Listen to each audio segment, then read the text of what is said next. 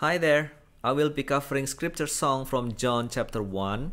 This would be the guitar version. I will be using chords that are simpler on guitar rather than the more progressive on the original minus one.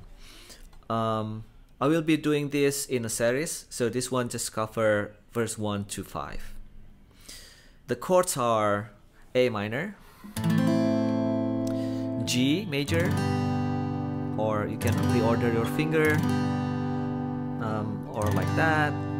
We also have F major, E major, D minor, or that. I also have a capo right here. Um, the original version is in C minor, so you would put your capo on the third fret like this.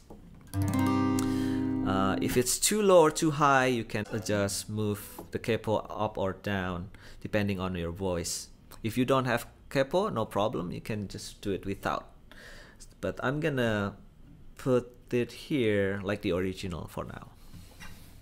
Here goes the song.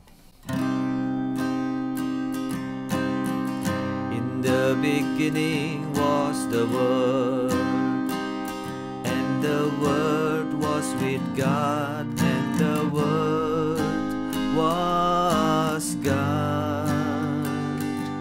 The same was in the beginning with God.